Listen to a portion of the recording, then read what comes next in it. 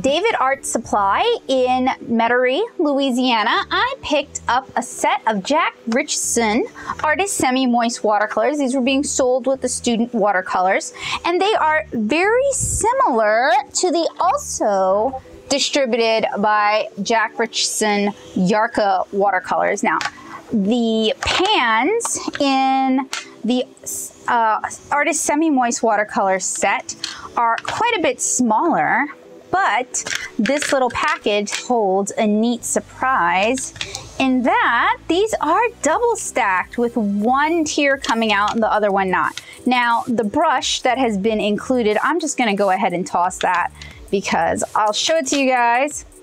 We'll dip it in water, but this thing is clearly not a good brush. Even wet, it's still splays out. You wanna avoid watercolor brushes that do that. So in today's video, we're doing a swatch and unbox, although I have a feeling these are going to be of high enough quality that we're going to also do a field test video.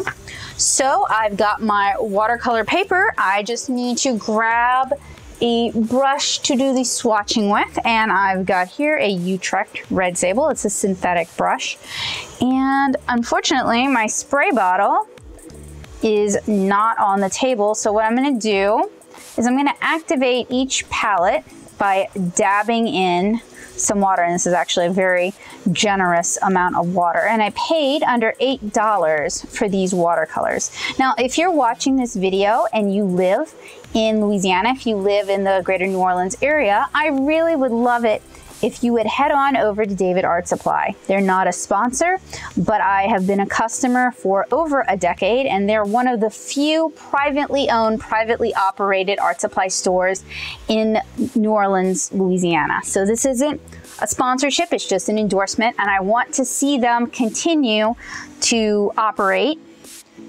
and I give them my business anytime I'm in the, oh, what the heck? This is like so much weaker than those Yarka watercolors already. Maybe that's just the black. Blue's a little bit better. Sorry about that. Got immediately distracted from my little plug. Oh, some of these are kind of opaque too. I'm gonna have to do an opacity test with these. Interesting a little weaker, it seems like, than the Yarka watercolors. Well, that's a Venetian red for sure. Could actually paint Cara without having to do any color mixing. And if you're interested in how that eight color set, is it eight or is it 10 color set I just showed you guys, the Yarka set, if you're interested in seeing how that shakes out, you should check out that video here on this channel. I also include a tutorial for how to paint with a very limited number of colors, which is great if you're a beginner artist or if you know a beginner artist. And it is part of my affordable art supply series, and it is my current rec if you are a parent who's buying for a young but already gifted artist or just a young artist who's very passionate. Basically, any kid who you know is going to be sticking with art for a while, even as just a hobby. Something a little nicer than Crayolas or Creatology. All right, so some of these colors are better than others. And I have a feeling we're going to be doing a an opacity swatch test, but also a field test. So I'm gonna let these dry and we'll check in after they've had a chance to dry. All right guys, so these have had a chance to dry or mostly dry. You guys can see some shiny. A lot of that shiny is from glycerin buildup. So these contain a fair bit of glycerin in them. The next thing I'm going to do is I'm gonna do an opacity test. So I need to grab a waterproof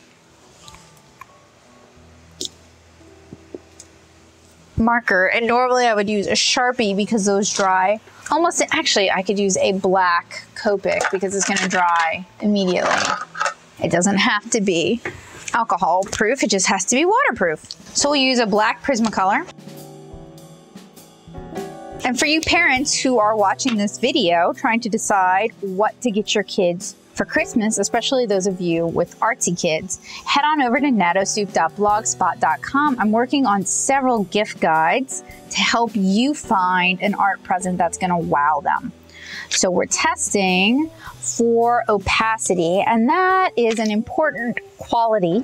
It's particularly important for watercolors who like to do a lot of layers in their watercolor, but it may also be important to your kids. So opacity can have a couple of different implications on your piece. It can affect the order in which you layer your colors or how you glaze your colors or even how you apply your colors. It can also affect whether or not colors end up muddy and gross. Now, these little cakes have so much glycerin in them, or whatever binder they're using. I'm assuming glycerin because glycerin is a really common binder in inexpensive watercolors. But they have so much of that binder that you guys can see it's really coming up kind of gloppy and gloopy and just very glue-like, not a great quality. Ooh still some yellow on there. It also makes it hard when my synthetic brush is picking up so much color. It's actually making it very difficult to wash all of that out. And it probably consumes a lot of your watercolor pan as you go. That said, for very young children, there aren't really a lot of great art supply options. It's not exactly a market that gets catered to. You guys might think, oh, but what about Crayola? Crayola does make some excellent products. Their watercolors, however, are extremely lacking.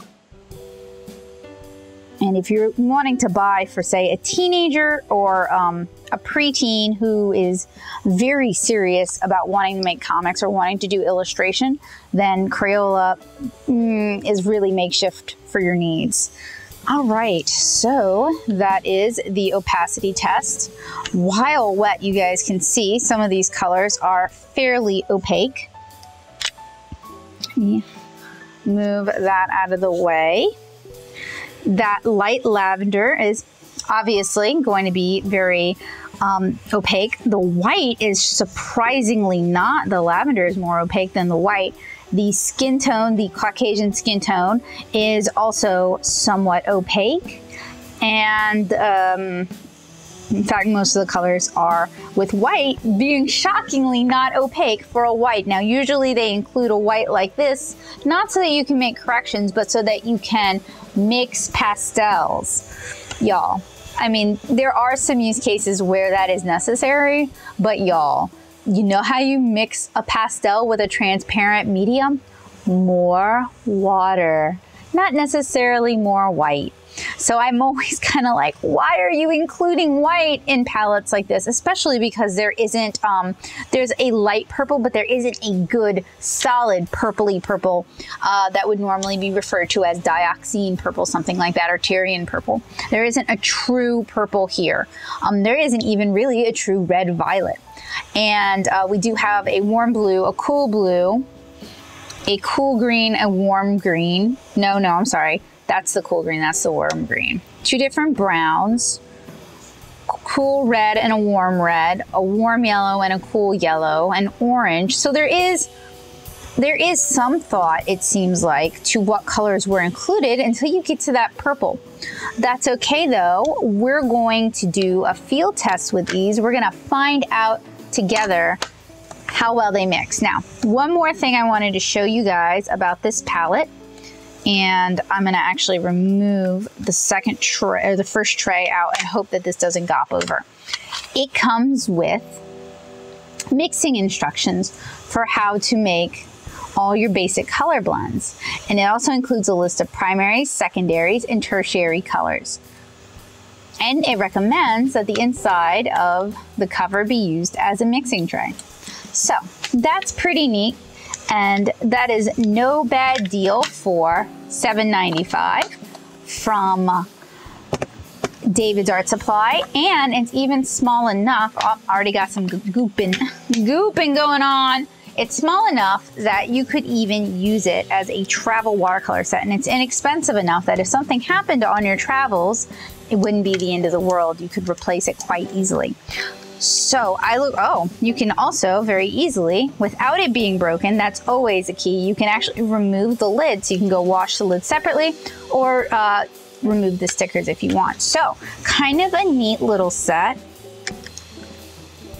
You get a lot of color. If you're the sort of person who was thinking about buying those Artist Loft cakes, you may have seen me review them here on this channel, I would say this is a much better deal. I don't understand why these aren't more popular with brush letterers because the colors are very, very vibrant and many of them are pigment based and it's very inexpensive. So I hope you guys will keep an eye out for my field test for these watercolors, especially if you or someone you love or someone you know is interested in learning how to paint with watercolor. And if you're looking for more information on watercolor, including a free, F-R-E-E -E free watercolor course, head on over to nattosoup.blogspot.com and check out my watercolor basics series. So I will see you guys later and I hope you all have a good day. Bye.